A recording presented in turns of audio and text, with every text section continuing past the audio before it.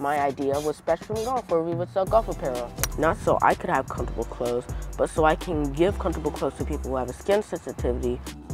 One thing Carter does is he is a spokesperson for autism. So he asked could he start his own clothing line. People that appreciate my clothes, it just makes me feel really special and amazing.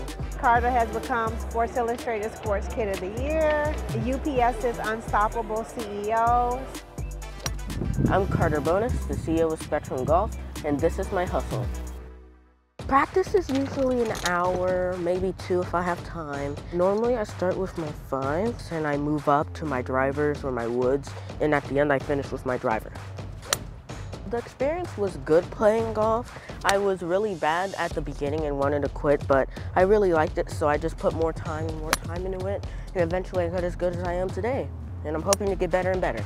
Yeah, so as I'm starting from a shorter club and going up, I just transition to more power and more power until I get my driver. Pretty good. So I set up the ball, a couple back swings to make sure they're good, and then I just hit it. What I've been working on is my stance and how I take my backswing and the through. Because if you don't take it back properly or if you don't follow through properly, the shot might, the shot will probably end up how you don't want it, and that's just bad. What was different in golf than other sports was I got to just be in nature more. It was more relaxed, not really a stressful environment, depending on how windy it is, on which hole you're playing, on which golf course, where you can chip or putt it. But that's a really important decision and you have to make the right choice.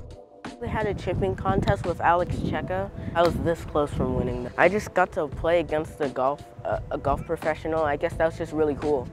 What I would say I need to work on is my putting. I'm really accurate, but I, I just need to get the feel down.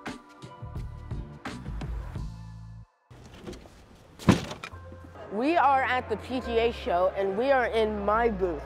These are our shirts, golf gloves, our socks. I am wear actually wearing the belt. These are lip balms. I have a funny idea to make them look like golf balls.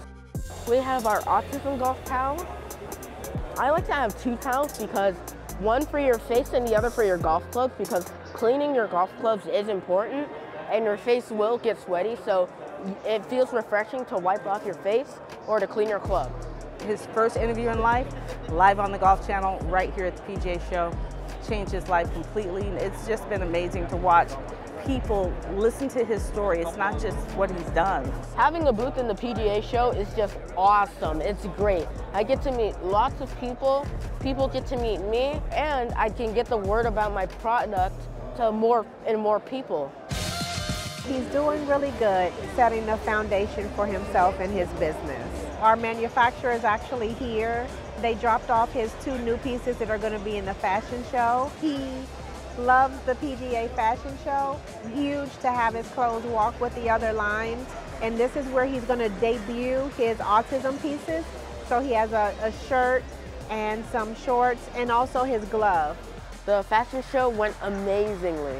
It's that just people that appreciate my clothes and that they're willing to wear it. It just makes me feel really special and amazing. Golf is his life every day, and he'll tell you, if you ask him, what do you want to do when you grow up? He'll tell you, I'm doing it. I want to play golf, and I want to have my apparel company. What I want to do with Spectrum Golf is make it a very successful business, having brand deals with multiple different big companies, and having a retail store in all 50 states. Thanks for checking out my story. Subscribe for more.